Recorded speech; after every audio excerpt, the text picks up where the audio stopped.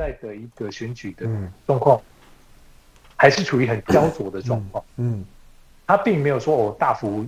大幅领先，就我现在已经已经超出了这个误差范围百分之四上的对领先，这是非常少。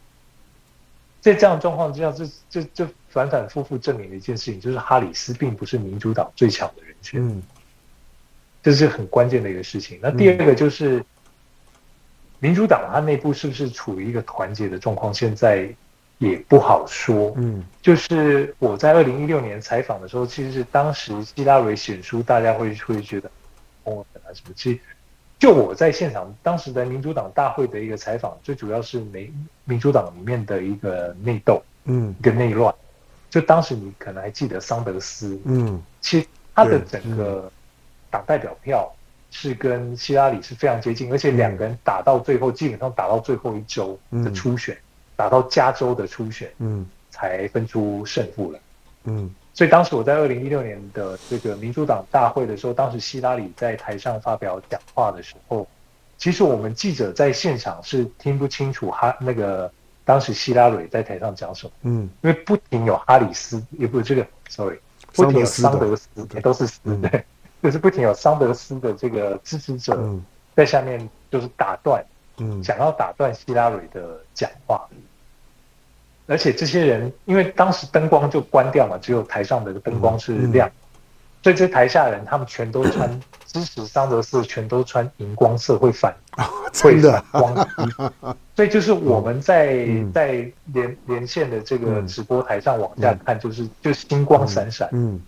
就是那一夜的星空，我到现在都印象非常深刻。就是这里一闪，那里一闪，这里一闪，那里一闪。OK，嗯。然后这些都是桑德斯的支持者。嗯。但是希拉里毕竟是这个老牌的政政治人物了。嗯。然后他在台上的时候，他的就算下面就是有这些闹场的啊，想要打断的，他其实表现都是很沉稳。嗯。所以大家在家里看电视的时候，看希拉里就是整个就很顺畅，很就好接受。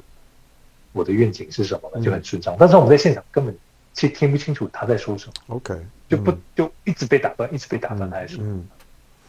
好，当整的的整体来讲，就是现这场选举现在只是回到了一个。一个一开始竞选的时候，在接近打打平的阶呃阶段，虽然情况呢，最少民主党在这一个月里面变化非常大。从之前呢，感觉上面大家都都都都放弃了，民主党好像要要崩溃了，可是竟然回来了，而且现在在摇摆州里面呢，也在打平，甚至于呢领先的情况。虽然领先呢，大部分都在正负误差范围之内。那接下去，当第一个就是看民主党下礼拜的党党代表的大会，党代表大会之后的走势。再来呢，电视辩论。那真的真的就是说，短兵相接的时候呢，就哈里斯那跟川普能不能招招架得得住？这可能是呢，川普现在我我我我觉得现在球呢在川普，这就川普现在反而是比较焦虑的一些一方，因为民主党这一波的反弹的气势呢太强了。好，接下去呢，我们再关注一个一个两个两个小话题，一个呢就就就就是。哈里斯呢提了提了这个这个 Words，那 Words 呢是明尼苏达州的州长，但我们我我们之前会注意到他呢，可能还还是在黑黑名贵的时时候，那提了 Words，但是 Words 被提名之后呢，其实讨论 Words 讨论最多的呢是他是他的中国连接。就是他在他在中中国呢教过书，他在中国待过很久的时时间，他确实在当下的美国的政治人物里面来讲呢，他的中国经验呢是是很很特别的。那这样子的一个中国议题，就是在这沃兹身上的这个就中国的元元素，对选举会有怎么样的影响？对，就是沃尔兹，他真的是一个蛮特殊的案例，他就是包括在这个。去过中国三十几次嘛，包括听说他的蜜月都是在中国。对对，这很这很特别，这很特别。嗯，对，在大陆那边来度过他的这个蜜月，然后还带这个留这个学生到呃大陆去那边去留学吧。嗯，这样的一个一个一个状况。其实我跟我我在就是在白宫意见下面那个网友互动，我就有问，就是说，哎，大家是比较清楚这个这个这个沃尔兹他的广东娃。或者是是比普通话还要好这样，嗯，哎，还真的有人留言说他 他的这个广东话还不错哦，真的吗？哦，OK，对，因为他他在他在广广州教教教书啊，对啊，嗯，对，你说九零年代这么早之前，对吧？那个时候可能都真的确实蛮多人会习惯说广东话，嗯，然后跟我们这个说，就就真就他应该，我觉得他多多少少可能懂一点，嗯，这个那不管怎么说啦，就是我看了一下这些共和党的一个反应，其实蛮激烈。嗯，就是共和党人会觉得，哎，这是一个警讯啊，特别是呃，沃兹曾经说过，就是他他早期啊，就还没从政的时候，不过哎，他这这辈子再也没有办法得到这么好的待遇，因为真的就是你知道，就是就是中国人中国人嘛，就是热情好客，对，就真的对他对的对他非常好，而且那个时候你说九零年代连。冷气机都是都是在大陆是很很奢侈的，嗯，很奢侈品，嗯，对。但是他们给沃尔兹呢是专门提供有冷气机的这个房间，嗯，真的就是对他非常的礼遇礼遇这样。然后，所以这个共和党就觉得，哎呀，他这个关系这么密切，而且那时候在也说了这个关于这个中国大陆的好话，然后他们就是。有发出很多警讯了，我真的是看了很多比较负面的嗯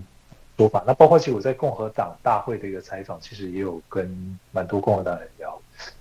就就真的就是他们的态度，其实就是都比较比较比较鹰派，嗯，这样状况。所以共和党的媒体，包括福克斯啊，在报道这个议题的时候，基本上都是很鹰派的一个态度去看，嗯。但是我觉得重点来，就是这些共和党的选民。看福克斯的人，他们基本上都是不会投给沃尔兹的，没错。所以，对他们怎么想，其实并不重要。嗯，重要是民主党人怎么想。然后我都会，我就看民主党的一些报道，包括像呃 NBC 啊、CNN 啊，是比较倾倾向民主党的《纽约时报》的一个报道。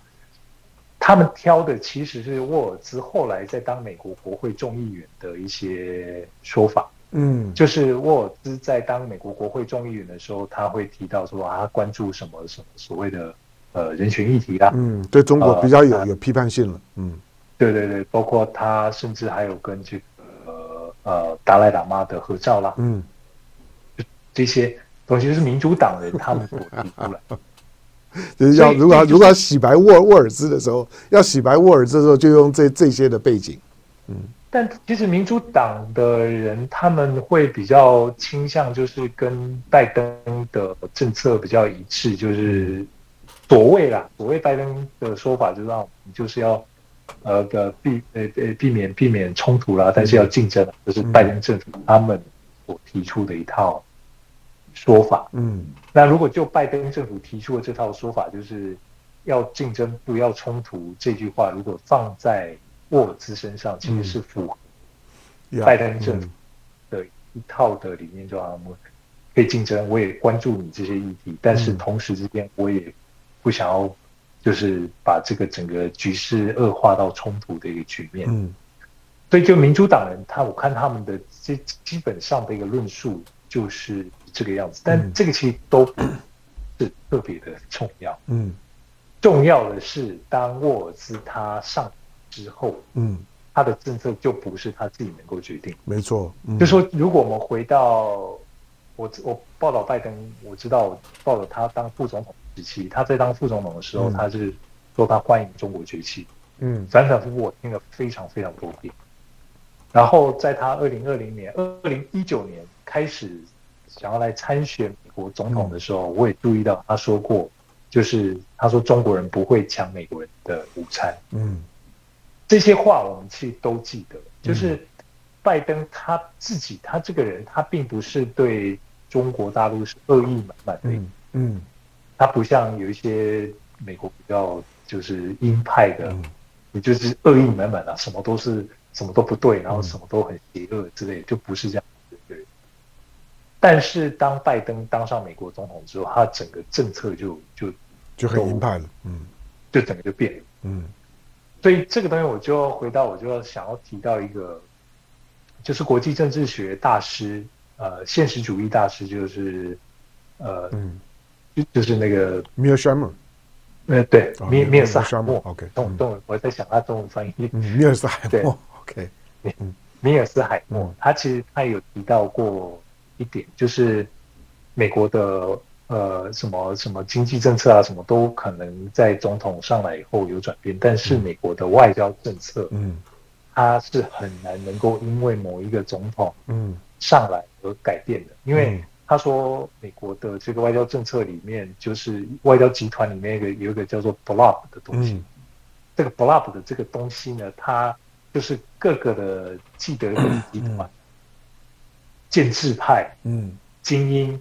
组成的这个 blob，嗯，他会去主导整个美国外交政策。就任何总统，他其实很难能够推翻。嗯，包括米尔斯海默，他在他说这个，呃，奥巴马在他任内结束前一个月，嗯，他那时候也接受媒体的采访，他他就提到他确实感到相当的挫折，嗯，然后他当时也是提到 “bluff” 这个词，嗯，就是这个东西一直阻碍他去施行他想要做的外交政策，嗯。所以，所以就是有这个东西，你你可以看到，包括在拜登，包包括后来川普上来以后，真的就是有有一些外交的力量，比如包括你你记得川普他真的是非常非常想要跟俄罗斯来修复关系。对对，嗯，对。那我那时候还跟着去去到这个这个芬兰啊，去什么双普会，就是普丁跟特朗普川普的这个峰会。你都可以看到，川普他真的是非常急切的希望修复跟俄罗斯的关系。嗯，但是因为这个美国外交的这个建制派就不让他，他们就是在那里，某种程度上影响到这些政策，然后去影响到川普下面的人，是川普人下面的不停的把川普往回拉。嗯，然后所以俄，所以所以所以这个川普在上在任内的时候，他其实也是对俄罗斯有很多很敌意的。OK，所以今天今天今天这个选举的结果，十一月五号不管是谁当选，现在的对华政策就是不要太乐观，那个调调子呢，大概呢是是不太会动的，谁上来都一样。包括呢沃兹即即使呢他有他有很很很很强的中国中国经验，在外交政策当中来来讲，我也我也不预期会有会会有多大的这些呢正面的修补的影响。